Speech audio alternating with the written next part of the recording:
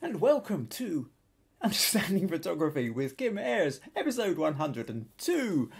Uh, so, today we're going to be talking about, um, well, a trip to the desert. I uh, Last week um, I talked about the fact that I, I you know, we, we, we put up a question about where would you most like to photograph, and I said I would love to get back to the desert, and I went there in Morocco. And uh, following that, I had a couple of people say, say to me, "Oh, well, what were your photos like then?" So today I'm going to talk a little bit about a trip out to the Sahara Desert, uh, where at the point that I turned up in the desert, I kind of realised I'd taken the wrong lens with me. So I'm going to talk a little bit about that, show a couple of the pictures of that, and talk about potential choices. What I'm also going to then talk about is um, I'm going to set a challenge for next week. So stick around, I will tell you more about that. Uh, we also have the question of the week, which uh, has been being discussed in the Facebook group, so a little bit of chat about that. And then we'll be on to the critique section. And in the critique section, um, we have three people who've sent in images. Oh, all right, let's go here. We've uh, Rose-Marie sent in this one, Robert sent in this one, and Roy sent in this one.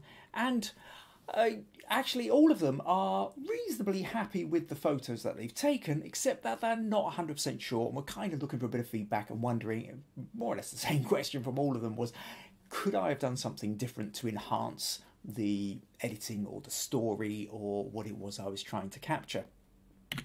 So that's really what we're talking about um, today. And if you're here, we are live on YouTube. If you're um, give me leave me a comment. Tell me you're here. Tell me what the weather's like. And of course, the other thing, really important, today in the UK at least happens to be Mother's Day. Now, I don't know whether it is where you are, but if you're in the UK, today is Mother's Day. So, if you fall into that category whereby you really should have contacted your mother, uh, sent her flowers, given her a phone call, and you're suddenly going, oh no, I forgot all about it, go and do that. This is being recorded, come back to it. Now, normally I wouldn't say that. Obviously, being live is part of the fun of it, but when it comes to your mum, that's way more important. And just while I'm here, a quick shout out to the mother of our wonderful children, my wife Maggie, um, who I absolutely adore with all my heart. So, um, yeah, Maggie's here um, in the comments too. So, go wish your mother a happy Mother's Day if that's what your setup is. Right.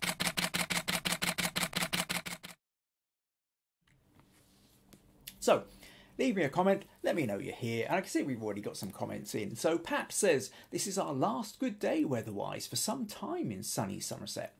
Um, hope the sun shines on you all, Pat. Well, certainly here in Castle Douglas. It is a gorgeous day, um, really beautiful, sunny. Um, I think it is across quite a bit of the UK today. Uh, Diane says, "Hi Kim, I've tuned in, but I have still have family here. I Think they're going soon." Come on, family, out the house, get away. I've got this podcast to watch.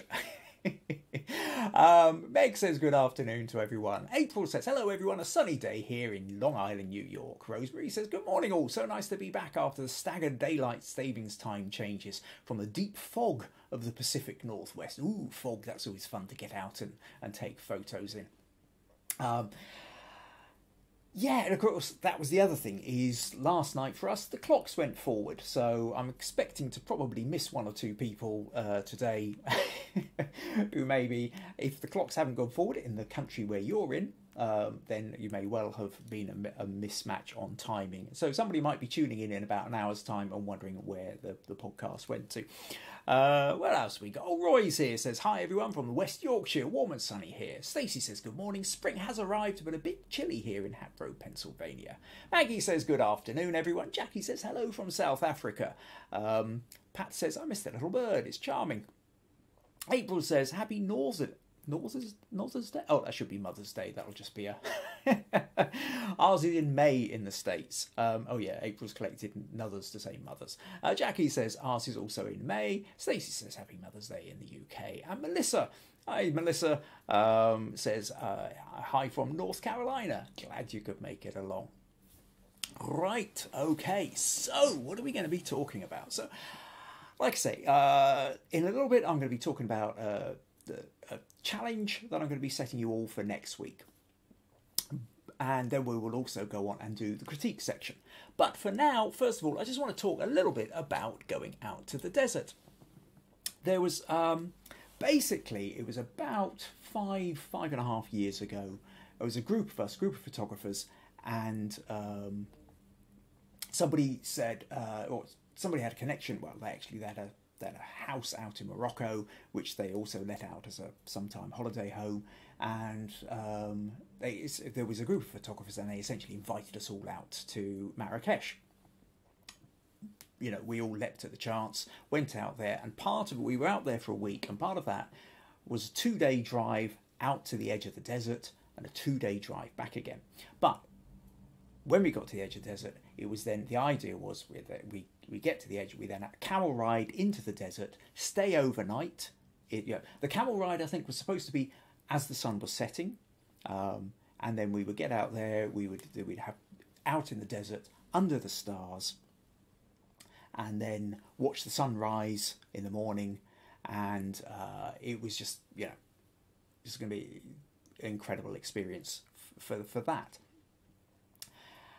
So we we did we, we went out, we drove out, and actually what I'll do, I'll show you. The, the problem was was there was delays in trying to go on the drive out. It was pretty cloudy the whole day. I mean, we've gone we've gone two and a half thousand miles from Scotland.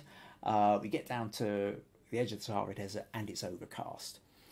We're wondering if it's going to clear as we get to, but we ended up being late. And by the time we got there, the sun had already set and it was cloudy. So what I'll do, I'll just show you through a couple of photos here. It's just you can see here we've we've hit dusk, and to give you an idea here that I've actually got this set at ISO 1280 um, 160th of a second f5 just to try and you know quick snapshot of showing you know we've arrived. You can see camel sitting there ready to get it's it's very very noisy photo. I'm doing my absolute best to try and rescue what i can in the sort of semi darkness here.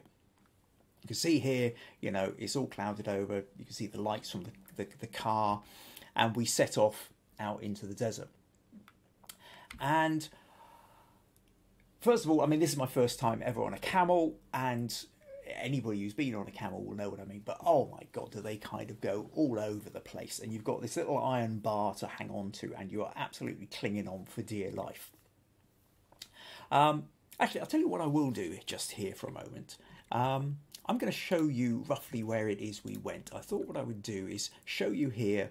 Um, we've got uh, so. Oh, here we go. There's Morocco. Oh, sorry. Ah, make you dizzy here. There's Marrakesh. And there here is Merzouga. Now, just to give you a, a general sense of where we are, here's Scotland, or the UK.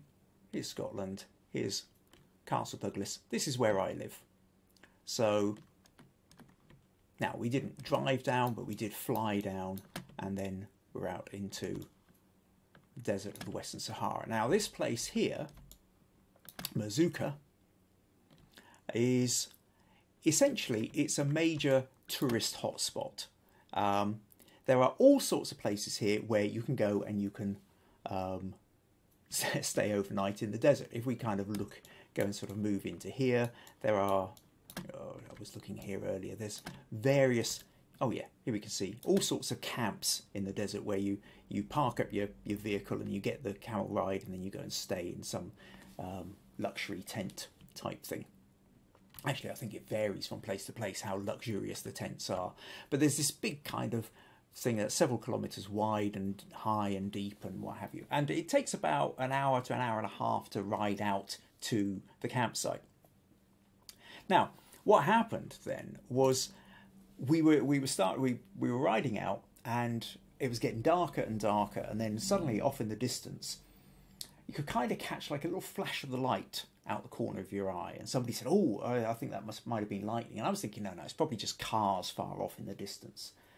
And then it got the flashes kind of got a little bit brighter, and then suddenly there was flashes and there was this huge roll of thunder. And then the wind started picking up. And then there was this we're, we're really quite in the dark and then there's this massive there's this flash of light and like the whole desert lit up for just that fraction of a second. Is that that kind of thing where you realise actually your brain doesn't even know what it's seeing until after it it's sort of seen the desert, and then your brain's working out what it's just seen. And the wind whipped up, and the sand's blowing around us, and then the rain started pouring down as well. And here you can see there was a there was another vehicle came out to look for because we started taking a bit long to get there. So I think there was a vehicle actually came out looking for us at one point. Um, you can see here in the vehicle headlights, you can see the rain lashing down. Um, now this is me. Now I've got I've got my camera. I've got it set at um, what have I got that set at actually? This is now set at 125th of a second, 3.5 aperture um, and I'm holding on with one hand onto the, the camel and rocking backwards and forwards and desperately trying to take a shot in the rain. the fact that I got anything at all, I was quite pleased with. Um, and then here you can really see the, it kind of whipping around us. Um, so we and then we so the, I mean, and what actually happened was we everybody just burst out laughing. We couldn't believe the fact that we travelled two and a half thousand miles away from Scotland to the desert and it was still raining on us. Uh, sometimes there's no escaping it. Um, so, just a, once we were here, this is kind of a wee shot of in the in the structure we were at. Anyway, so it chucked it down with rain the entire night. However, just before dawn, the cloud it's it, it started to ease off and i suddenly realized we were in fact going to be able to potentially see the sunrise. So i let i came out of the and there's this huge dune by the side of us and what i did was i scrambled up to the top of the dune or well not to the top about halfway up. And you can see here if we look down here into the corner you can now then see um, that's the shack that we were in before. Some of these down here these are the kind of structured tents where there were beds and stuff where we actually stayed in the night. Um, and what I'd done was I for for long complicated reasons I decided I was only going to take one lens with me on this trip, and the lens I decided to go for was the wide angle lens. And the reason I went for the wide angle lens was because I was thinking about this trip into the desert, and I just wanted to try and capture these dunes all over the place. This was the point I suddenly realised I'd essentially taken the wrong lens with me because we had all these dunes, but they look flat. I mean, this is almost like looking at a beach. The, that once you're up high, part of the problem with the wide angle lens is for some reason heights just never really get. They all seem to get shrunk down. Everything stretches out widthways, but it kind of compresses on the height. And all the time, I found when we drove through the Atlas Mountains, all the photos I have of the Atlas Mountains, none, they look nothing like as impressive as they actually were. Um, so the sun was starting to rise, just coming above the horizon, and I realised at this point I'm in the wrong place. I need to, the only what what can I do with a wide angle lens? I've actually got to get down in amongst the dunes. So I started scrambling back down, um, back down this big dune, and you can see here the sun kind of starting to to you know is now kind of above the horizon. But we've got these lovely kind of where it's just catching the edge edge of the dune. So I've got to get down a bit lower, and uh, I find my way back down to here. And really, what I did this I've got about 100 shots like this or fairly similar where I was working towards this. What I was wanting to do was try and capture these camels because what was really weird was as the sun rose all of these camels they just suddenly sort of all stood up and started just staring out towards the sun. It was something very primal that they were all looking directly at the sun. What also confused me for a while was the fact that the camel had was standing on three legs, and I thought, I wonder what's going on here. Is it lame? Um, and then there's another camel on three legs, uh, and this one you can't quite see here, but this one was also on three legs, and one of the legs is tucked up. And I thought they can't all have gone lame at the same time. Something's a bit strange here until I then saw somebody bringing back a camel who'd gone wandering off. And at that point, I suddenly realised this is actually one of those ancient things they do. We've probably been doing in the desert tribes for thousands of years, which is when you've got your camel, you don't want your camel going wandering off too far in the night. So essentially, what they do is they tie one of the legs up, and then that way, at best, the camel can only kind of hobble off. It will. There's a limit to how far it can go. So if you wake up in the morning and then find half your camels are missing or one of your camels is missing, you don't have to go very far before you can find it. but this then really was the only way that I could really make the most of the wide angle lens was sort of like this photo and this photo here, where what I'm trying to do is cat the line of the, sand and the dunes going up and then drawing your eye up to the camels, um, then silhouetted against the sun. And this one here, where you've got the, the person bringing back the camel. Now, the sky is kind of blown out, but I, I didn't worry too much about that with the sun because actually I thought what I really love here is I love the silhouettes, I love the way the light's catching the edge, I love the shadows that are kind of coming down, um, all of which would have been lost completely if I tried to if I tried to expose for the sun. Everything would have been totally in silhouette, including most of the dunes, and I wouldn't have had any detail. So you're always kind of getting that balance up. And then we had we had a fortunately with the sun now up, we actually managed to have our, our ride back, through, you know, in relative sunshine. Um, this was in November, so temperatures were only about sort of between 25 and 30 centigrade Celsius. Uh, so not horrific. I mean, very hot for Scotland, but for desert temperatures, really quite cool. This gives you a better size of the size of some of those sand dunes, which I just wasn't able to get from higher up. You have to do the obligatory, um, if you're ever on a camel, get the shadow shot of you um, on the camel. Here you can see this one's me holding my camera up, holding on with one hand, um, and then eventually, of course, trying to get the selfie. Uh, not using my phone because I, I, but you actually get the camera with the wide angle on it. Um, huge amount of fun. I mean, such a touristy thing to do, of course, absolutely, but what an amazing experience. I've never had an experience like it, and I would absolutely love to do something like that again. So, if you ever get the chance to go out into the desert, you know, get the chance, I would really recommend doing it. I would say, though, that you know, be, um, keep your eyes on the, the. I think the camel's called the ship of the desert partly because you can get seasick on it very easily. Keep your eyes on the horizon. Um, think about carefully about the lenses that you want to take with you as well. Um, right now, where are we? So that's kind of uh, just like I say, following on from the fact that some people kind of wanted to know a little bit about what it was I was doing, you know, the, the photos I got.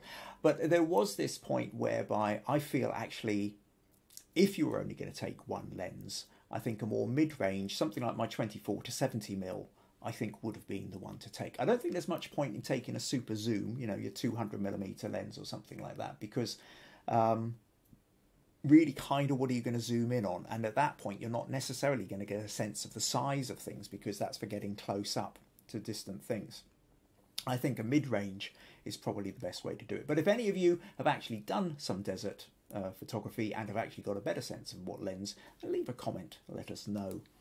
Um, okay, right, a couple of uh, comments here. Let's let's see what we've got. Um, oh, Stacey says Woody is waving. To, right, Woody, yes, okay, but what everybody seems to have nicknamed um, my little. Uh, Mannequin sitting on the left.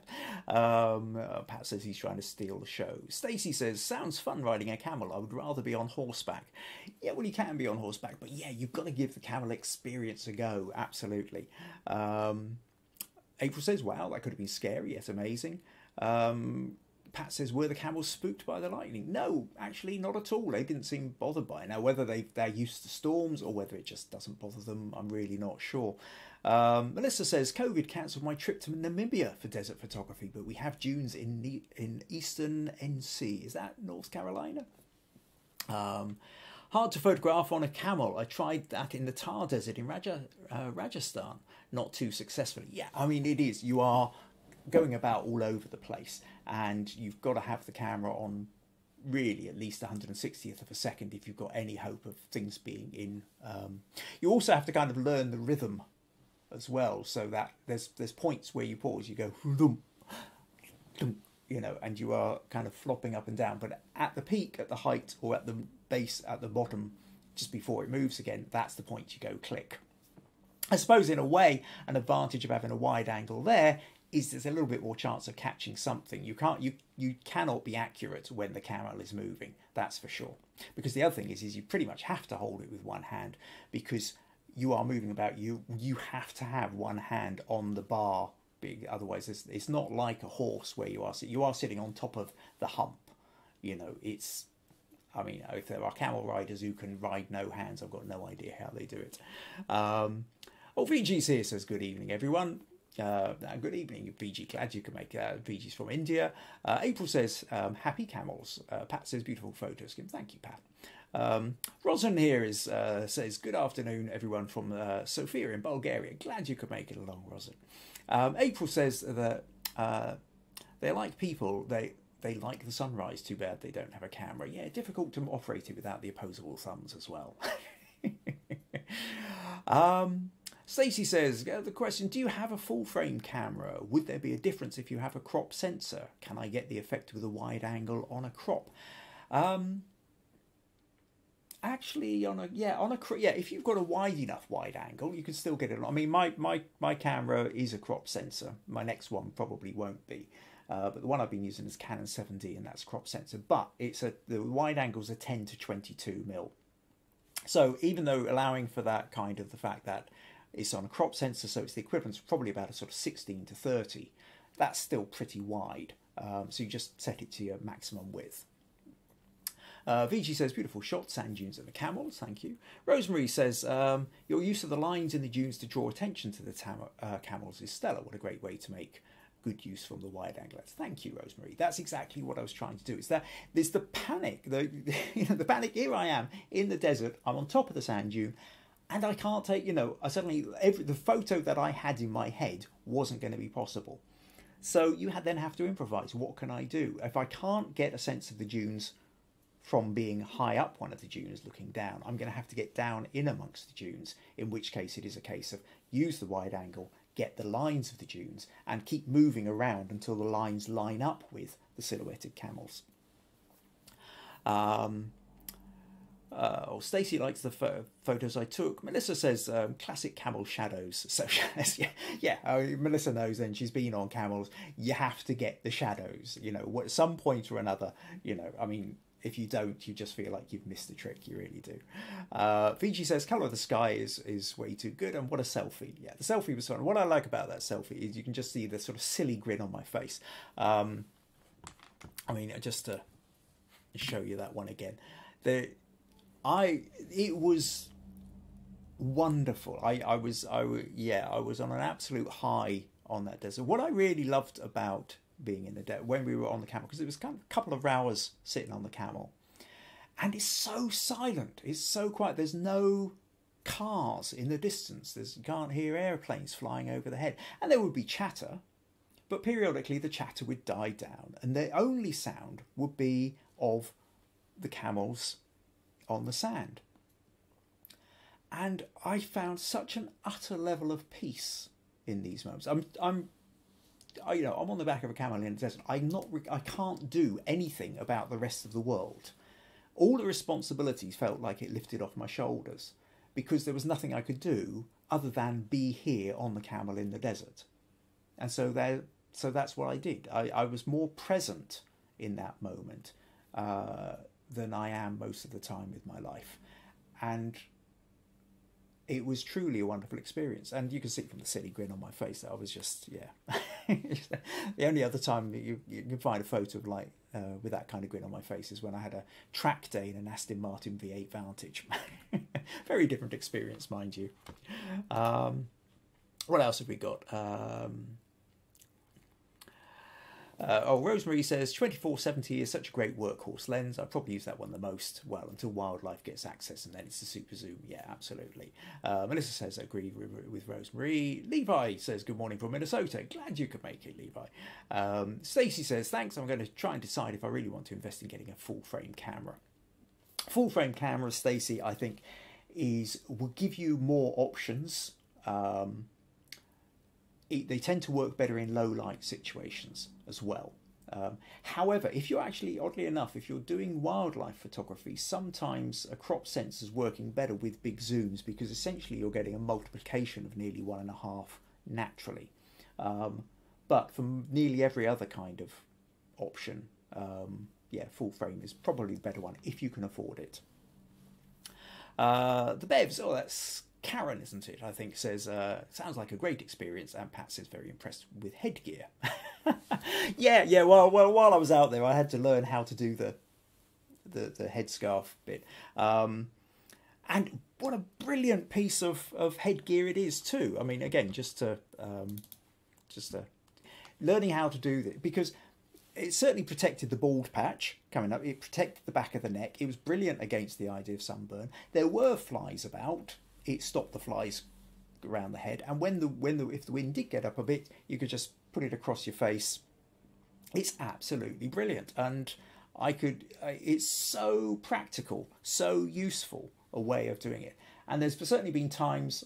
there's been times in the UK, and I've thought, oh, that would be. You know, I don't have a hat where's a scarf? I could do that. And then I suddenly realised you just can't get away with that in Castle Douglas High Street in Scotland.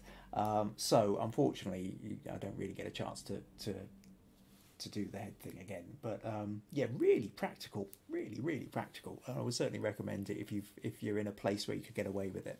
Um, right.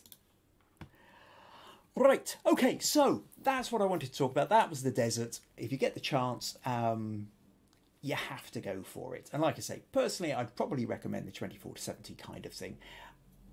Um, although the wide angle helps you if you wanted to get down in amongst the things. But like I say, I think a super zoom isn't really going to work in that kind of way. The thing is, is if you are going to the desert, you're not really wanting to take 20 lenses with you because what are the chances are, how often you're going to get a chance to change the lenses, and uh, on top of that, you really, really don't want to be getting sand into your camera every time you want to change the lens. And if you are on a kind of tourist trip where people are waiting around and you're on a camel and all this kind of stuff, you're wanting to minimize the amount of fuss that you're doing. Um, right, and Rosin says the wide angle makes the skies blue deeper, doesn't it? Hmm. I'm not entirely sure that's down to the. No, I, I well, yeah, I'm not entirely sure that's down to the fact it's wide angle. I sky sky can get very blue in the desert, and it feels sometimes that it gets more blue because it's compared to the yellowing sand. And I think quite often, if you've got your white balance on auto, and the auto so and it's registering the kind of yellowish of the sand, the auto white balance will give it a slight blue shift to counter to try and rebalance the the uh, the white balance and therefore that in turn will actually make the sky look slightly bluer. But you can play around in Photoshop or in your editing program of choice afterwards and shift around with colour shifts as well. Um, right, okay, so that's what I wanted to, to say about that. Um, so, what else have we got here? Yeah, just a little reminder here if you find these podcasts useful, entertaining, um, educational, and you feel you'd like to support them or just show some appreciation, then buymeacoffee.com forward slash Kim Ayres is one of the ways you can do it. Another way, of course, is invite your friends along as well. Um, and of course, if you're here for the first time and you've not done so already, make sure you click subscribe somewhere in YouTube here. They subscribe and then make sure on as well you click the little notifications bell so that you're updated each time I've got a new podcast ready to roll.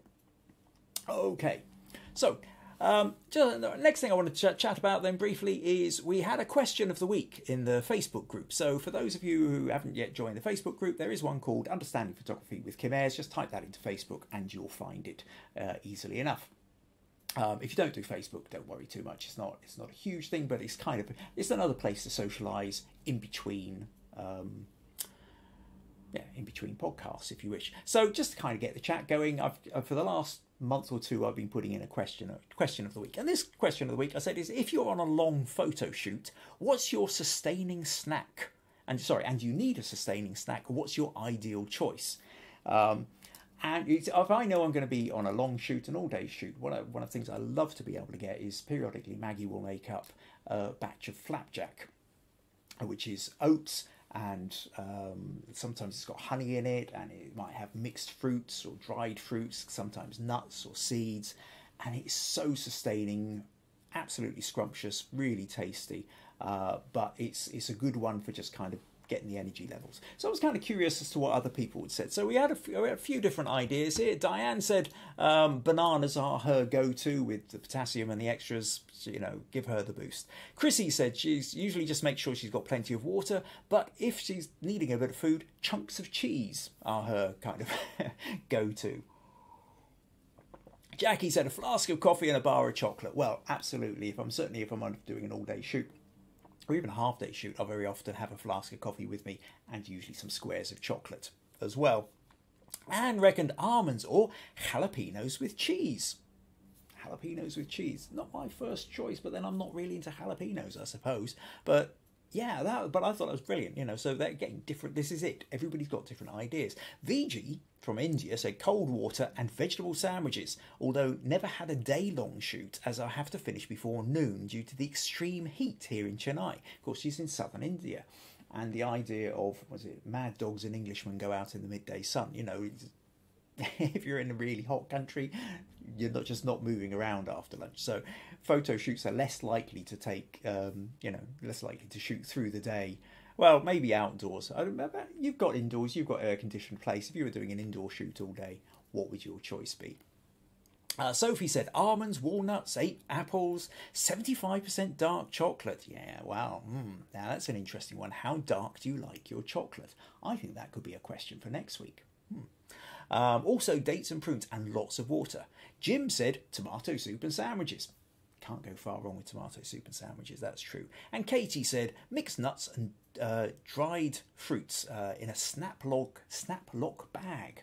God, that takes me back to primary school, elementary school, where we used to have like a snack where my mum would have an envelope and she'd put like um, sultanas, raisins, and uh, peanuts and, and stuff. Yeah, fruit and dried fruit and nuts into into a little envelope for my for my snack when I was about five years old. Yeah, interesting. Forgotten about that one. So thank you to everybody who who answered that one. I thought that was kind of a little bit of fun. Uh, what's this? Um, oh, Stacey said I, I take fruit, but normally cheese crackers. Oh, okay. Uh, Rose-Marie says, "Yay, Jackie! Coffee and chocolate, the two main food groups." to which Jackie says, "Any excuse to indulge in chocolate." Oh, Meg, Meg says, "What about chocolate brownies?" Oh, absolutely. If there are chocolate brownies about, and Meg make, I will say now, Meg but does make incredible chocolate brownies. Um, Yes, I love to take them. However, are they a sustaining food? No, they are much more of a sweet treat because you then get a bit of the sugar rush from the chocolate. Um, they are absolutely gorgeous, um, though. Uh, oh, April says she likes to have a Clif protein bar. Cool, excellent. Okay, so now what we're going to do, actually, just before we move on to the critique section, Roy had a question for us as well. So Roy, Roy said, does anyone use a loop? loupe? Not L O O P E, L O U P E, to check the focus when using the back of the screen of the camera. So basically, no, don't have the camera immediately to hand. A loupe is, is it's like almost if you think like a kind of little triangular or pyramidic kind of thing with a with a little lens on the top, which you can stick over the back of your camera, over the, the screen on the back of the camera and it allows you to look in and actually see the back. So you know sometimes when you're out there, you take your photo, you try and look in the back of the camera, but the light is too bright, you just can't make it out, and you're kind of trying to shield it and all the rest of it, and it doesn't really work. Well, you can buy a thing called a loupe, L-O-U-P-E. Google it, and you'll find them easily enough. And so you place that over the lens, and so what that allows you to do is then look through the tiny little lens and actually see the picture, and allows you to then also see whether you can, because you can then zoom in using your buttons, whether you're in focus in the place you want to be in focus. Um, so now I, I have to confess at this point, I've never used one. I've seen other people use one, but Roy is wanting to know if anyone has any recommendations as to a good one to buy or a not so or a not so good one to avoid. So if you happen to have any experience with a loupe um, for looking in the back of your camera, and you know a good one, or you absolutely want to say, for, for goodness sake, avoid this one, then either leave a, leave a comment in here in the, in the comments now, or go to the Facebook group Understanding Photography with Kim Ayres, and uh, leave a message. If you're doing it this week, you will find that uh, just scroll down a little bit. You'll find Roy's question, and please leave an answer for him. Um, that would be appreciated. Right. Okay. So thank you for that. So now what we're going to do is we're going to move on to the critique section. So the critique section of the this podcast is the chance where you get to send in your photos to get feedback on an image that you've got. It might be that you were struggling with particular editing style or cropping or you weren't sure how you could have made the best of the situation. Um, maybe you've got a good photo you like, but it never does quite so well in the competition, so you're again not sure where you're going wrong the problem that we all have with with we take our photos is trying to get genuine good feedback on them. Because when we put our photos up on Facebook or other social media people click like or they don't click anything at all. Nobody really wants to upset us by saying well that's a bit naff. Besides which nobody or very few people really know how to properly critique an image. If you consider most of the people who are your friends on social media are not photographers they're going to say they love your photo. Part of it's because they want to make you feel good, which is lovely. You want friends to make you feel good, except for the fact that it doesn't really help you develop your photography. The other thing is, is how would they know what was wrong with it anyway? Would they know how to improve it if they're not really an expert in photography? So we developed this side, developed this side of the, this little corner of the internet, the critique section in the Understanding Photography with Kim Ayres podcast, where you can send me the images. Now, if you're in the Facebook group, you can post the the picture into the Facebook group. Leave me a little bit of uh, message saying what it is that you where you're struggling, where, where your sticking points are, and I will do my best to help you. If you don't do Facebook, then you can email me. There's uh, kim at kimayres.co.uk. You can see my web address just there. So kim at kimayres.co.uk is the place to um, just email me your image along with your an outline of what your sticking points are, and I will do my best to help you. So, most weeks we tend to have a critique section, although this time I think it's going to be possibly about three weeks before the next one. We'll talk about that one in a, in a little while. Oh, okay, so what I will do actually, I will just say at this point, um, I'm going to set a, I've got a challenge set for next week. I'll tell you what, I'll tell you about that one at the end. Okay, so worth sticking around for. If you do have to run off, come back, check the last section of the podcast at the end, um, where we'll tell you about next week's challenge, where I'd really like you to submit your images uh, so we can have a have a share. Okay. Um, oh, April's also said peanut butter and chocolate chips are my favourite. Um, is that cookies or is that brownies or is that flapjacks? Melissa said we had a wind, windstorm in in the Thar Desert. Bring a rain cover for your camera. I learned the hard way. That's a good piece of advice. right, so back to the critique section then. So the critique then, the first one we're going to look at is, I think we're going to look at Roy.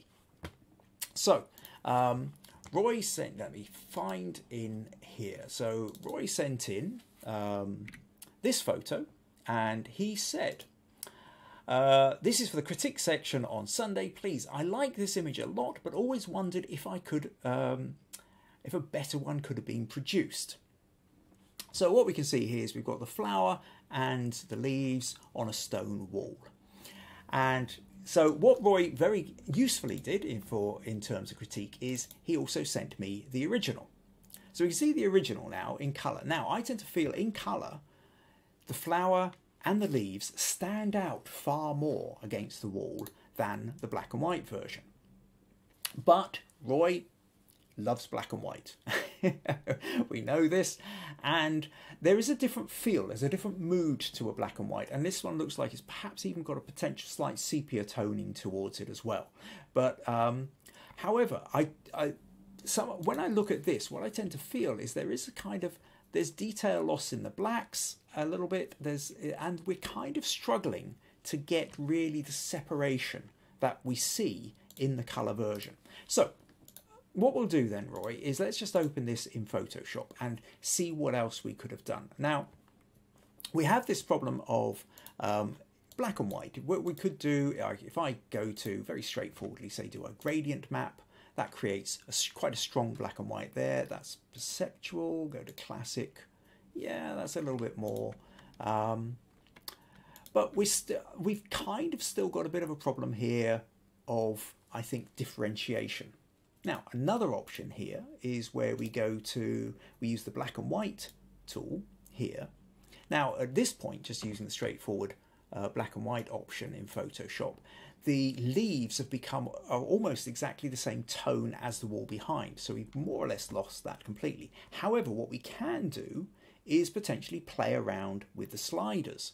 So if I take the yellow, for example, and I slide it right, you can see that it boosts, partially boosts the green, but it also ends up boosting the flower as well. So while we lighten the leaves, the flower itself tends to burn out somewhat.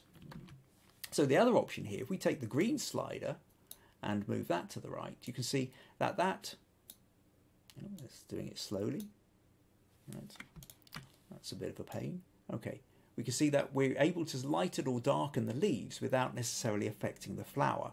So there's possibilities here of maybe lightening the leaves, but we still have a little bit of a problem here with the fact that if the more we lighten the leaves, we more we lose the flower. The more we kind of create the differentiation between the leaves and the flower, the more the leaves actually disappear back into the, you know, start ending up matching with the wall. So you kind of ended up with a bit of a tricky one here, Roy. Because here the leaves stand out completely from the wall, so what do you do? Now I think part of the problem that we have Let's go and take a look at the, the black and white version for a moment. Um, and I think part of it here really is that whilst the, the flower is the main part of this, we want the flower and we want the leaves, but you I feel you're too far out with this, that actually you're going to get a better story if you crop closer in. So really, I think if we were to do this, say we come down here, bring this in, and then a couple of it depends how far you want to come in but say we, we stick the flower there and then bring in. Now at this point we can maybe start playing around with our black and white um, where are actions where are we? Um, sorry that's black black and white. That's the bit that I'm looking for. And now if we nudge up the greens a little bit we can allow the you know we can kind of play with the contrast a little bit more, or we can, if we put the gradient map over and over the above that, that's also another possibility as well. And now we, I think here, when you look at this, when we're in this much closer, I think we've got much more a sense of separation of the colours, but it's also allowing us to give a bit more depth so that the wall behind is now darker, is there's more in the shadow. So you get a sense of there being a darkness behind the leaves and then we've got the mid-range tones of the leaves and then we've got the highlights of the um, of the flower. And then if I just take all that into camera raw for a moment and then potentially maybe what if I hit auto? Mm, not totally sure. Maybe we can even up the exposure a bit but bring the highlights down a touch. Potentially play with the clarity a little bit. Actually you know I'm not sure if I'm ruining that a little bit. Let's take a little look at that. Maybe that's, actually I think that's overkill. We were probably better off with that. So in that case, maybe we don't need to edit it much more than that. So I think this kind of thing, the, the, what it's allowing is we've now got the light flower at the front, we've got the mid-toned greens in the middle, and then we've got the dark shadow of the wall behind. But when we look back at your original one here, because we've got so much more wall around here, the leaves, it's difficult to tell where the leaves end and the lighter parts of the wall begin. So nothing seems to stand out and separate in quite the same way. Whereas this, I think, helps. And in fact, actually, to be honest, I think you could possibly even pull it in closer if you wanted, if you were to kind of do something like this. Um, even more so then. And I think this then is really creating that sense of depth. We can now really see the flower sitting on top, the leaves here, and the shadowy darkness behind of the wall is giving us that sense of essentially three layers going back through. So I hope that helps. I hope that makes sense, uh, Roy. That basically um, your your original problem with it, I think, is, is essentially it's too far out. Coming in closer allows that sense to get the different layers and allow the wall to be the darkest part, rather than all the lichens and the different shades of the wall ending up being the same tones as the leaves when you turn it into black and white. I mean, straightforwardly, when we're in colour, it's very clear that the leaves are separate from the wall. But when you go to black and white, it isn't because of all the kind of mottling. So that sense of then getting in close uh, just allows the wall to be dark behind and we get much more of a 3D sense. So hope that makes sense, Roy. Um, uh, hope you found that useful. Right, okay.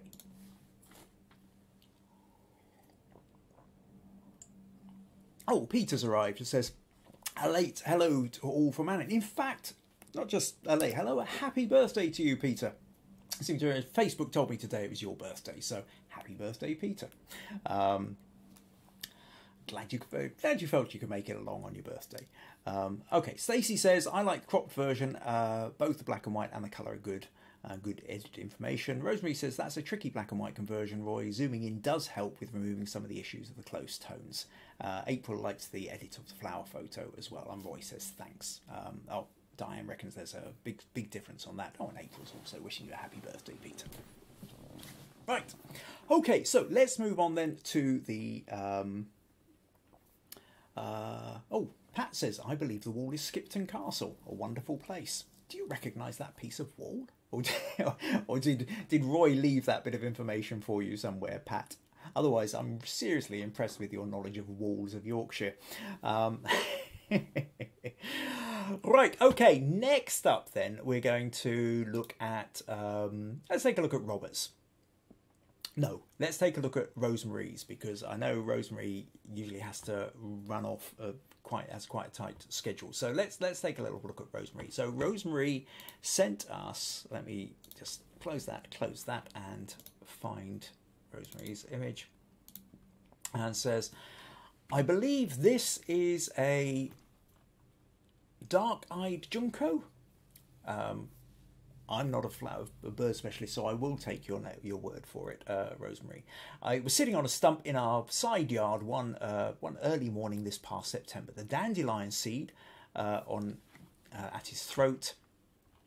You look here, you can see a little dandelion seed just sort of has managed to attach itself to his feathers, um, and a very plump chest, evidence of being a well-fed, along with his willingness to hold still to have his picture taken, all suggests to me that this is a very contented little bird certainly go with along with that. The lighting was tricky because of the side towards the camera was in shadow. Is there anything different I could have done in post-processing to improve the story slash composition slash detail? So to compare then, again, Rose-Marie rather usefully sent me the um, sent me the raw file. So here you can see the original photo, and if I just kind of open that as is at the moment, okay, let's just close Roy's here for the moment.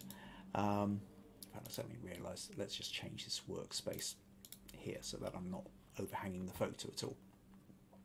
So if we take that and compare it to, um, I'll just open this in Photoshop as well so I can just flick backwards and forwards. We can see that uh, Rose-Marie's cropped in really quite a lot, but what she has also, what we can also see here is that on the original, this lot is quite lost in shadow. Um, Whereas, so she spent quite a bit of time bringing up the highlights and making sure that we can see the eye and we can see the detail in the feather, as opposed to you know, um, the original shot.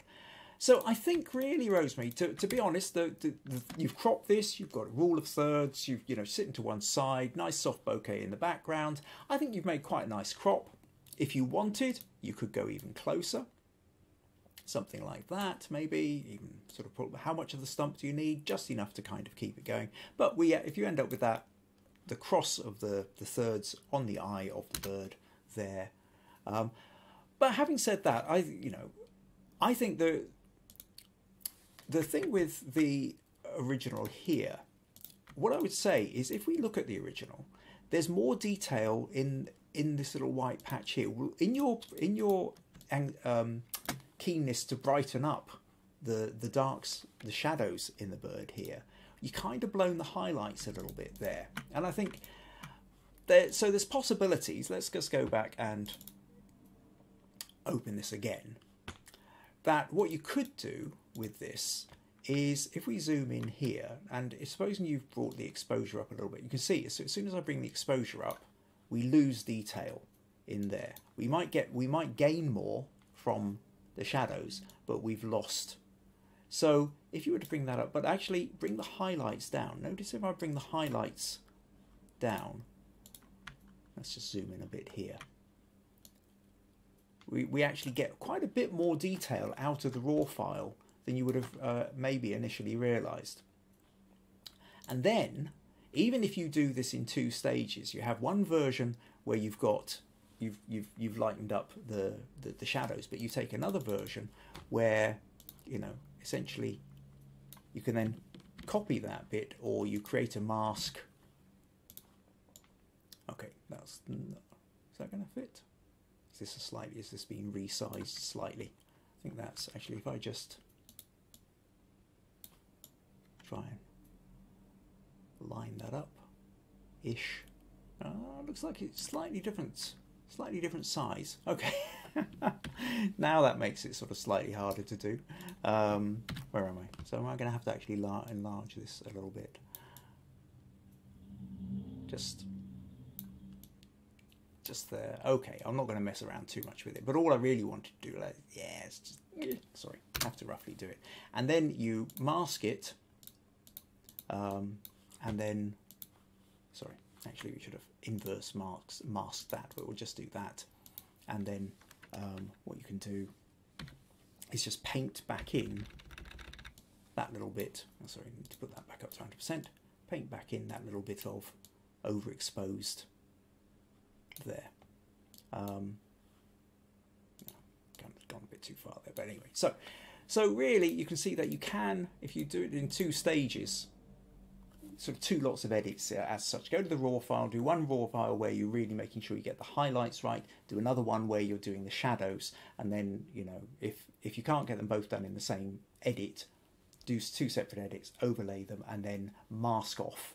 And I think you can do that. But to be honest, that's me just fiddling at the edges there. Most people, if they're only going to look at it this size, would never be able to tell the difference. Um, but I think you know I, I I think you've done well with what you've got. You know, your your original, um, you know, you've you've from where you've started. I think you you probably did the right kind of crop because the bird is is sort of pointing to the left of the screen. You wanted to crop it so that you had the space in front of it. You've kept the bokeh. Um, I think you've done a pretty good edit there. Like I say, the only thing I would really say is that little bit of highlight, but we're kind of you know playing at the edges there. But I, I feel good. I think I think you could feel good about what you did there. So um, anyway, hope that gives you a couple of ideas, Rose-Marie.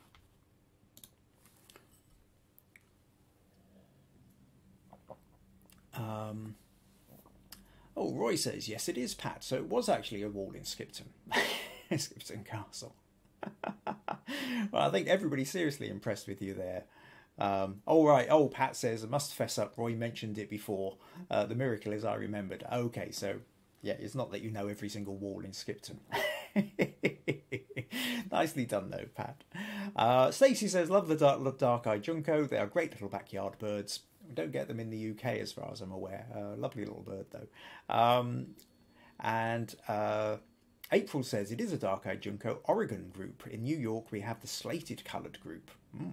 Okay, Rose-Marie says, excellent suggestion for recovering the blown highlights. Thanks, Kim. Excellent.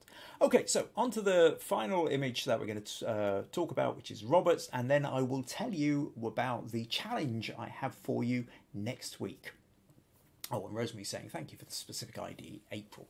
So, okay, let's move on to Robert then. And uh, Robert sent this picture and says, um, I was in California's Mojave Desert this week, so you actually made, made it to the desert, although this looks slightly less desert-like than the one I was in. Um, the ground is covered with tiny yellow flowers called brittlebush, uh, Encelia farinosa. Encelia or Encelia farinosa. Um, and it sort of sounds like a kind of Harry Potter spell, doesn't it? Encelia farinosa. Wave your, wave your wand and instantly turn somebody into a brittle bush. I took several shots and noticed this wasp flying in the focal plane. So if we just zoom in here, see the little wasp. Wow. Um, it's not extremely detailed as this is a very cropped photo. It is also just at the back edge of the depth of field, so it's just starting to go out of focus. There are only four colours in the photograph and I was able to play with it. Hopefully you'll find it somewhat interesting. If I had known the wasp was in shot, I would have focused on it. It is less than a centimetre in size. Let me know how I could have improved my composition and editing.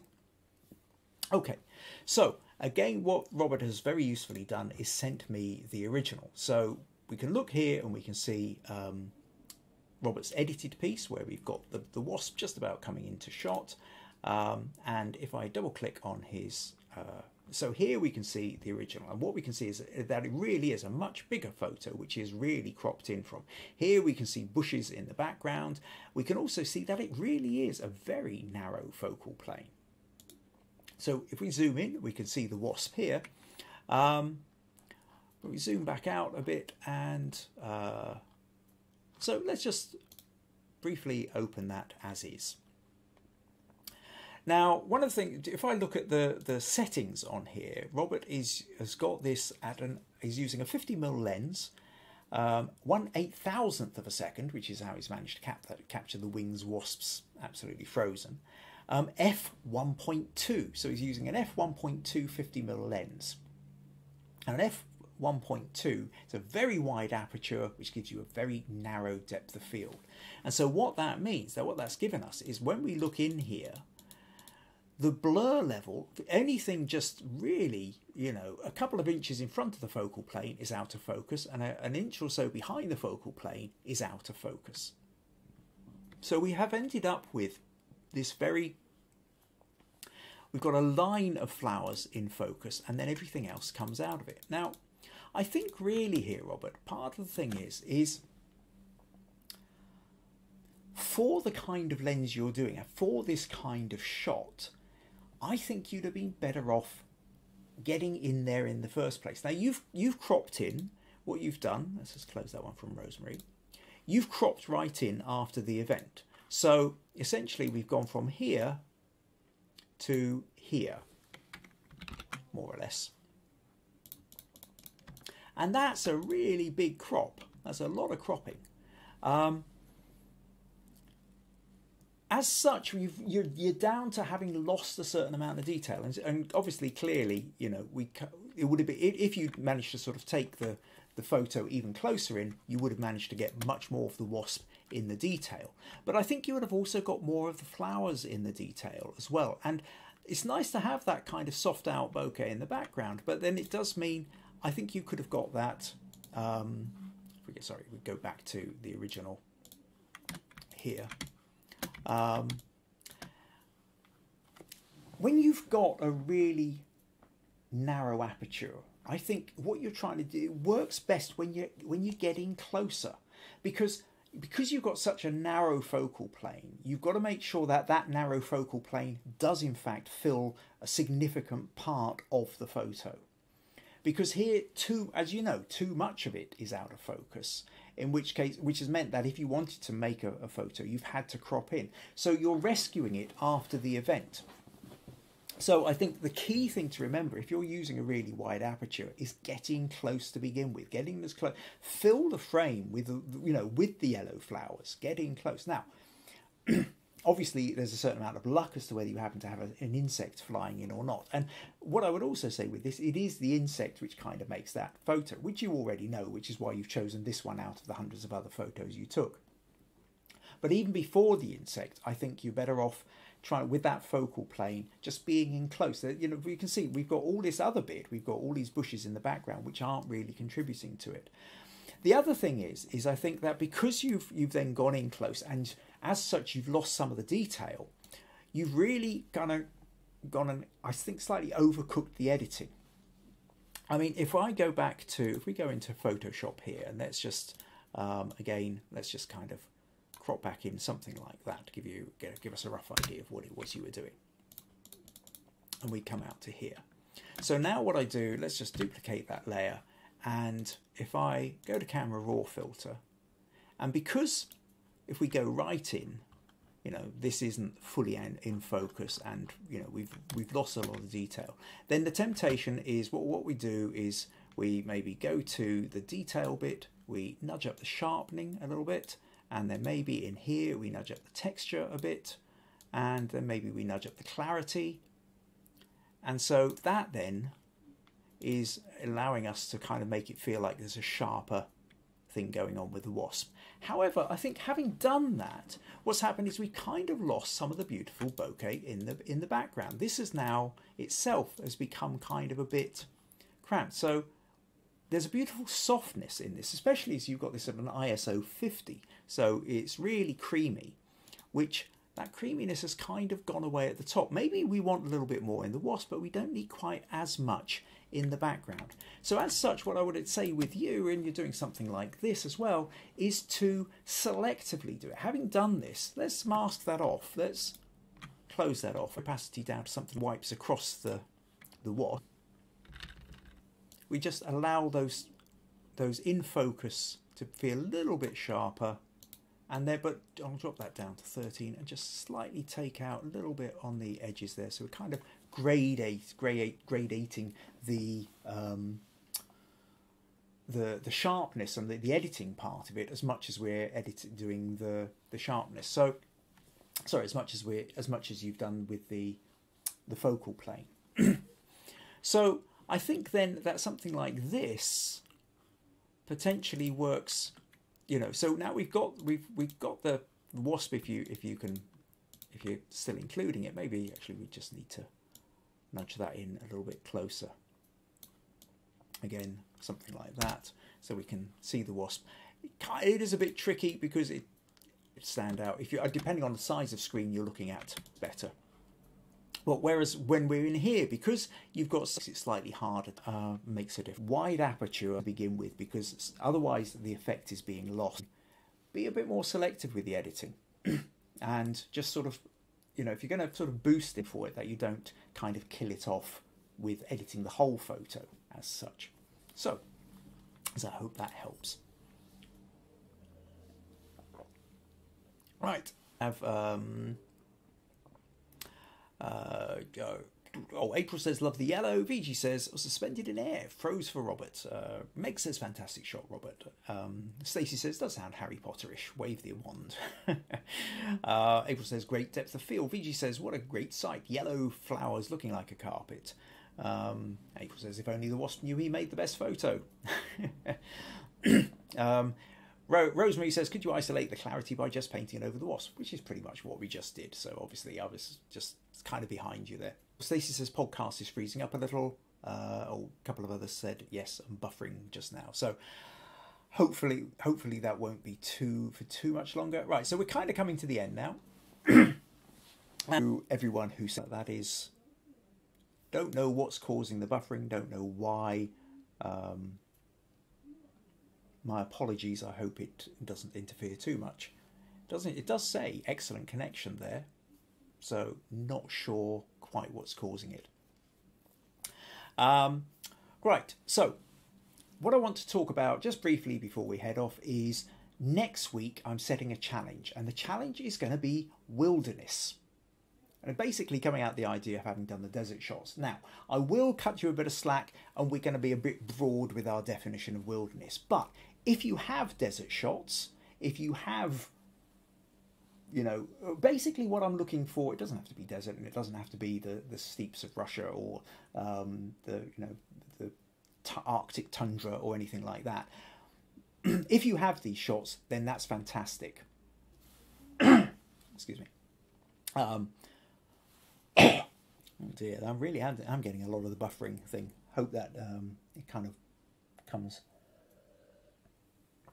this is awkward. Not sure, just have no idea what's causing it. Um, yes, but if you don't have any of these wonderful photos sitting in your in your folders, and you don't have the chance to get out to the desert or the Arctic tundra, then I will accept things even like your garden, or if there's places where you go. The idea of wilderness here, I think, really is about essentially trying to make it look not like it's man-made. When I say your garden, what I mean is that at this point you would have to get macro levels probably down with the insects, so you're almost kind of in your own bit of um, jungle or there's a deserted bit of garden. What I want is I want a lack of man-made stuff in there. I don't want it full of buildings. I don't want it full of obvious stuff. Now, a single person in it, it might be that you have a single building in a distance because the single man made object or single person helps to emphasize the largeness and the emptiness of the space. But essentially, the idea of the wilderness being something where really people aren't, or not many people are, if you to go into the to trail it. So when you when you come to the um, okay, really hoping that you're going to get some of this, or at least some of it will come through in the replay. At any rate.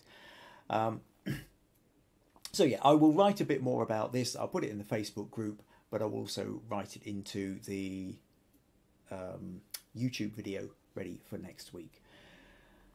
So, Wilderness Challenge, get your photos into me. Try and get them in by Friday. Um, I will. I will warn you. Actually, I'm away until Saturday, so it might be a little bit of a rush for me to try and get in. But put your photos in either into the Facebook group or email them to me and tell me a little bit of the story behind it, why you chose this photo. This is not about critique, although if you're really stuck with the photo and you want a bit of feedback, I might be able to do one or two. But primarily, this is a, this is a chance to show off a little bit. Show us your favourite wilderness photo. Um, and what we're trying to do here is inspire each other. Okay, we want everybody to kind of look at these photos and go, oh wow, that looks like a lot of fun. I wonder if I could have a go at doing something similar. So that's it. That's pretty much us. Um, thank you to everybody who turned up. Uh, my apologies about all this buffering at the end. I really don't know what's causing it. I, it still says I have an excellent connection. Um, I hope you've managed to get the end of this. Um, but Wilderness Challenge next week, and then the week after that, we're going to be on the two year anniversary and the Smug Awards. So make sure you've subscribed, make sure you tune in. And uh, thank you everyone to, to turning up. Take care. Bye bye.